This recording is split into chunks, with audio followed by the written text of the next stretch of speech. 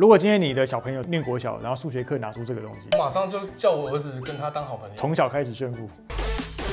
嗨，大家好，欢迎收看《超人少年》。这一集我们要跟大家讲工业界的测量单位。所有在工业的里面当中，测量其实是最重要的。但是你大家有没有想过，到底那些公分、公斤、英制、公克、mini、公寸、英寸是谁定出来的呢？那是谁嘞？有钱人。有钱人就会搞事。你上次拍完入赘之后，你去哪里啊？他很喜欢你，他要叫你去当他的老公。你走了以后，我就去里面逛啊，再看看有没有其他的板娘愿意继续追我。难怪你拍完那一集之后就消失到现在。没错。好了好了好了，不要再讲了，再讲就拍不完了。那你知道你从小看到的一公分，到底是谁告诉你是一公分的呢？到底是谁呢？谁？谁？谁？你说。我才是尺。没错，但是你知道你在书局里面买的一公分的尺，它其实是不准的一公分。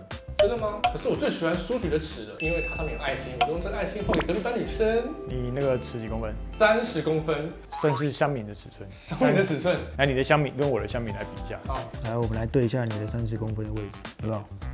它多了一点多米米出来。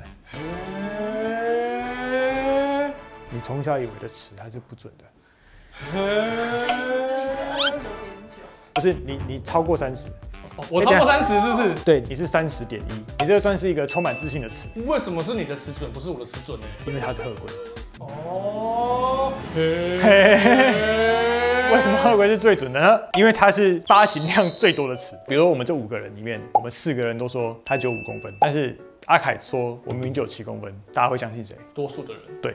所以这个时候尺就是谁发行的越多，谁就是最。谁说了算吗？全世界所有做木工的人，基本上他都会有一个就是鹤龟的尺，因为它是在日本发行里面，大家所规范，你量的几公分就是以它为基准。不管是做木工、铁工的，你他都会有这个牌子的尺，是因为这牌子的尺特别贵，工业界最贵的尺。工业界的 LV 就对了。工业界的奢华，从尺开始。那猜这尺多少钱？我猜顶多也就一百五十块，就很贵了吧？错，两百一。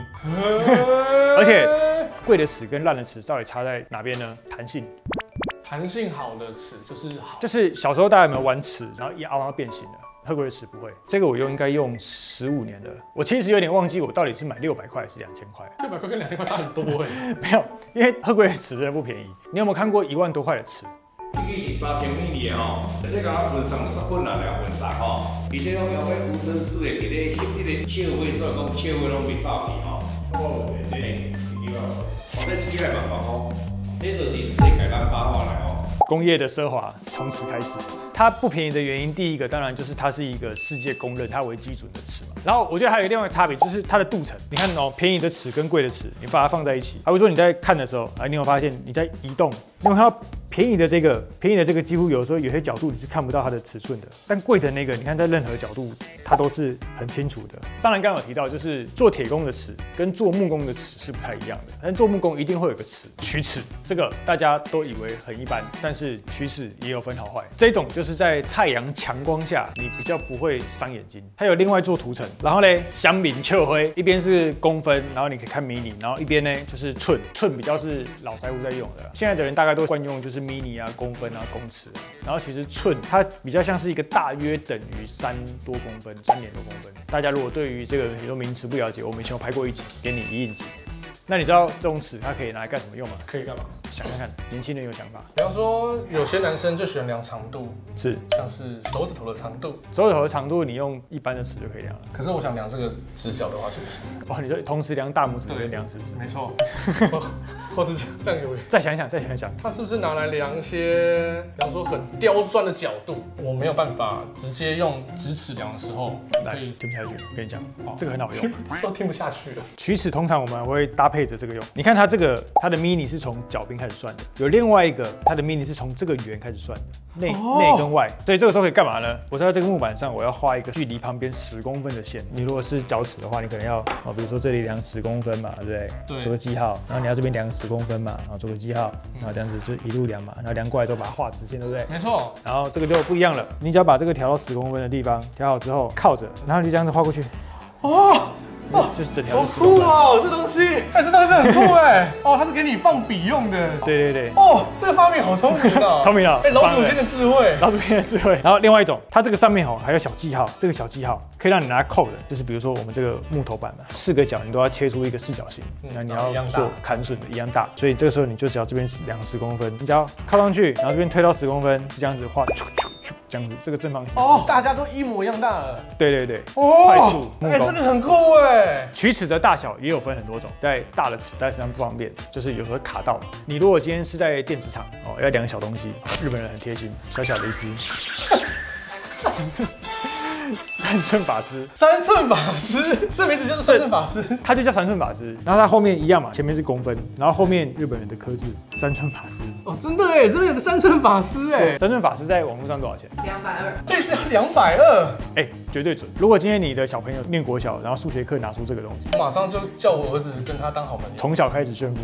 没错，三寸法师之外，三寸法师会长大，三寸法师长大之后，五寸法师。他转职了吗 转？职所以三寸法师这样子，哎，去转职哦。所以法师转职完就是五寸法师。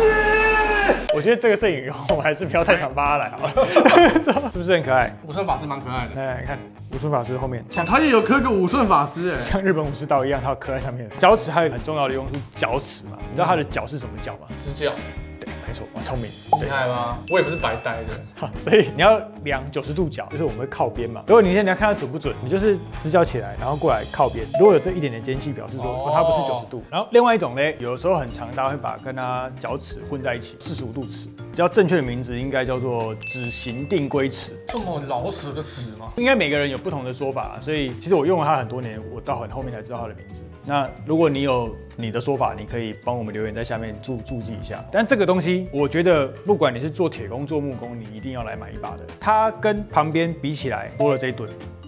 你知道这在干嘛？就可以就可以站嘛。第一个，它也是有九十度尺的功能，但它有一个最重要的地方就是，好比说，来，一般你拿那个木条的时候，哪里编出来的东西？常常会要做框嘛，不管是做铁工、做拉门啊、做窗框啊，都是很常要做框。它这个背面的好处就是这样子，你可以合上去。你要做一个正方形的框的时候，比较 low 的接法就是直的接直的接直的接直的嘛，比较 low。中接的四十五度，你要在它的这个正中心、正中心的地方，你要把它切成四十五度。嗯嗯，它需要什么东西？它需要一个直角，要接成一个直角，它需要什么？它需要一个边边，要接成一个边边，它需要一个什么？它需要什么我不知道。它需要两个四十五度。哦，所以它这个尺你推上去之后，你再画完这条线，画上去，这个就是四十五度。四十五度切下去之后，它翻面就是可以变成一个直角。哦哦，这个像七巧板的概念。对对对，七巧板，或者说你现在这边已经是一个九十度了，然后你就可以用这个溃，然后去找到它的中心点的位置。其实我们的习惯是会用笔先去压着那个位置，然后你再画，那就是一个九十度。哦，或者是呢，你在这个九十度的上面，你要找到一百三十五度的时候，刚刚这条直线嘛，那就这样子画，那这个就是一百三十五度。哇，上数学课，反正就是这种词，它有很多的很多的定律啊，哎就是很多定律是可以去使用所。以其实这根本就是数学老师专业的工具啊，对你还记得它叫什么？它叫做什么什么五什么尺，什么特规尺，五寸法师。五寸五寸八另外一种呢，比较特别的尺叫做孔尺，孔尺的中心思想是个人。人的表现是。哎、你懂这个、啊？另外还有一个台湾人的说法叫做深度规，怎么规法呢？第一个呢，它是可以量孔的大小的，就是比如说它这个总共可以量到十五 m 米。比如说当你有个洞，你把它插进去的时候，你就会知道，哎，这个洞怎么了？你笑屁啊？是个好洞。这个洞大概多大？啊，不然拿来插人会痛。我想大家应该都从来不知道你的电钻里面的头，这个六角头里面到底多深吧？它就是这样子，然后往下插，插上去，然后你看这个大概是二点九 mini，它就可以往下插，然后量它的深度。那另外一个就是量它的孔径大小。接下来还有一种呢，其实以前台湾很少见，但是我们在工业比赛拍完之后呢，大家就开始对它有兴趣。它也是一个我非常推荐，不管你是做头坠的，或者是你是在做各种造型的，或者是你是做水电的，你都很适合买的一个取形器、取形规、取形尺，因为它算是比较少见的东西。那你知道它可以干嘛吗？它是量形状，是，它主要是拿来量，就是你的那个门啊，门跟门旁边的边边，然后这就取角度，或者是水管你已经接好了管子，那你就可以把把这个，然后把它往上插，超好用。下一种尺呢，它基本上是工业上最重要的根基，它也是所有的基础的基础，也就是水平尺。水平尺到底能够长到多高级呢？噔噔噔噔噔噔噔，这种是短小型的，就是通常很多冷气师傅会有，或者是高空作业的，上面还有开瓶器。这上面不是开瓶器，这个是那让你挂你的东西的，或者是旁边呢有一个强力的磁铁，像这样，那你就可以去量你的。吸力很强，你就可以去量你的角铁啊，还是你的方管啊，然后你在往上拉直的时候，它是不是水平？另外跟大家讲一个江湖小撇步，就是像如果你是有在工地或做铁工的人，你很容易上面会吸满一大堆的铁屑，然后当铁屑那颗粒在上面的时候，你附着上去就不准嘛，所以你可以先贴一个透明胶带，然后你回家的时候你就可以把它清掉，撕下来，然后铁屑就都不见。生活小知识，这个叫做中高档的水平尺，高档的水平尺。噔噔噔噔噔噔，五寸水平尺，不是各位朋友点住诶哦，这个平常我我不拿出来的。因为很贵，它可以摔下去就结束了。这个我们通常请他出来的时候，都是属于像那个神明这样子供奉出来。怎么用呢？他比说，你就放到这个上面，然后他就开始用电子式的绝对水平。大家要记得一件事哦，就是有的时候我们会讲，你要的是视觉水平，还是它是绝对水平？视觉水平就是有时候你挂一张画，然后你用水平尺去量量起来的时候，它是水平的。但是大家往后退的时候，哎，怎么画看起来歪歪的？是因为你整个房子都是歪的。大家真的不要以为你们的房子都很正哦。以后我去看房子的时候，我就带这个。去看。这么逼人，超硬，就是以后那个建设公司验屋的时候，不好意思，然后就让请出来，然后，哎，呃，你的地是没有铺平的，不要逼死所有建设公司就对了。啊，没有，我先跟你讲，你在浴室量一定是不平的，你那个水哦。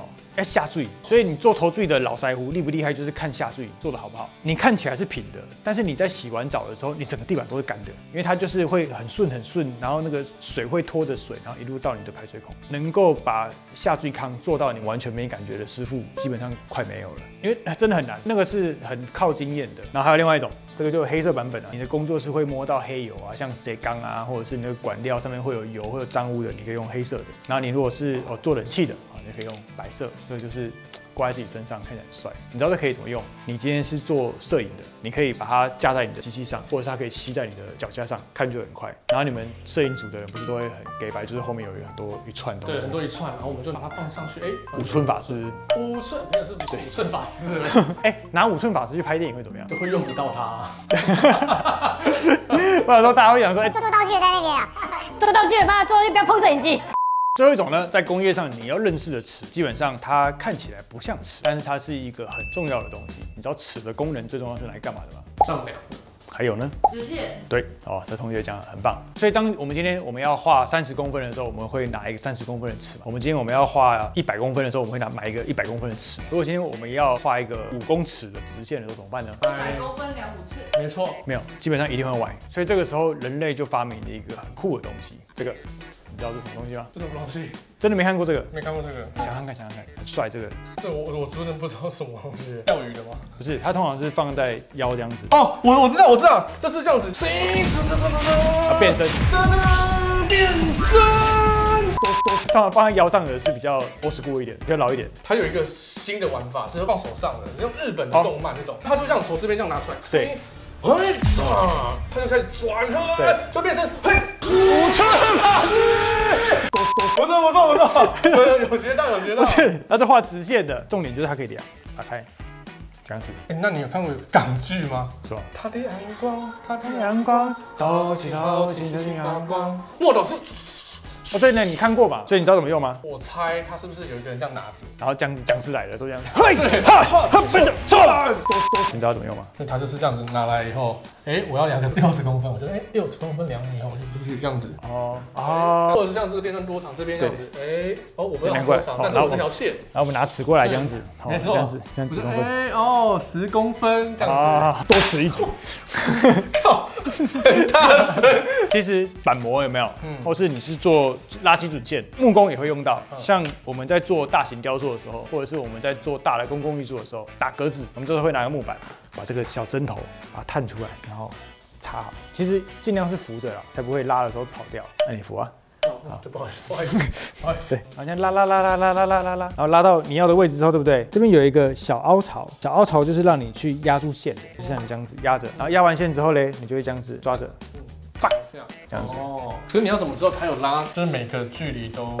对的嘞，两个这个边的直线有没有一样，对不对？对，五寸法师，五寸法木板上面的时候，我们会先画一个基准点，以这个基准，然后再来做出这个四方框。如果是做板模或者是做别的事情的时候，它的用法不太一样。总而言之，就是如果你要先做一个记号，比如说你可以做一个这个十公分的记号，你在远处的地方呢，你就可以一样在这里做出一个十公分的记号，然后你的第一个叉叉就可以点在这个地方，然后就可以拉过去，对，然后就可以打一条线，对，然后拉过去的时候放手。我怕它弹到你，不会不会，便宜货跟好的就是不太一样。它这个升上来之后有没有？自动会，它自己会上去，所以你弹到你手也不会。这是一个安全机制。我以前被打过，那个针直接拉回来之后呢，那针咔，插在我手上。哎呀！然后这个前面就是我们要加墨汁。如果今天你的墨斗很臭，真的不要毛笔，真的很臭。它有出很多版本，它有很多颜色了，青色、一般的黑色、炫泡的荧光色。你知道他们还有出那个雨天用的。哎，你用墨汁下雨户外就那个啦，就很像呼吸啊！泡一缸叫落雨，在八号落雨，可以做海料料。那你要什么色？粉红色。少女般的粉红色，没看过吧？恋爱般的颜色。我们这边就要加墨水，然后你在拉线的时候呢，就是这边要压两下，然后就哦，这整个颜色都换掉了。然后呢，扣住这个，好，在十公分的位置，那你就是压着。有没有？哦，有了，有了，有了。有没有这条直线？可爱的粉红直线，然后你就可以依照这个基准线去放你的放位、放样，或者是比如说你的 X 轴出来了，Y 轴出来了，那你要在哪一个点做什么样的位置，这样起来可以。哦，这蛮酷的。然后回去估二级。哦，不好意思。好，其实大家现在所看到的公分啊、mini 啊，它其实就是来自于公制单位。公制单位呢，它又称作于 metric system，而这个国际单位呢，其实从以前到现在奠定着基础，至今也才不过六十几年而已。但大家很容易搞混的公制，另外一个就是英制啦。那英制单位呢，也就是人家所谓称之为叫做帝国单位制，也就是你常常会听到就是英寸啊、马啊，或者是一磅啊、品托啊，这个东西就是英制。所以大家听到现在是不是觉得非常的混乱呢？就是公制、英制、美规、英规，然后各种规非常混乱，对不对？你知道这个时候你应该怎么办？上网去查，网络这么方便。不是，这个时候我们需要是秦始皇。大家还记得秦始皇当年统一度量衡？度量衡这个事情麻烦的地方就是每个人讲，每个人说了算，每个世界都在乱。但是如果我们全世界没有这么样多的变化的时候，大家讲一公分就是一公分。好比说这个长度是什么？三十公分。不是一超。从今天开始，我们超认真出了自己的度量，这个叫一超。很康，对不对？你看，每个人都想要有一个自己的单位，很麻烦。这个时候，我们需要黑魔法术。我们来把秦始皇召唤复活。好，你来。黑魔法开始前，应该就是要先画个六芒星。我们要先画出一个圆形，然后再画出两个三角形。靠，有太难了吧？这个怎么画正正圆？歪了，你看歪了，不是啦，这是什么？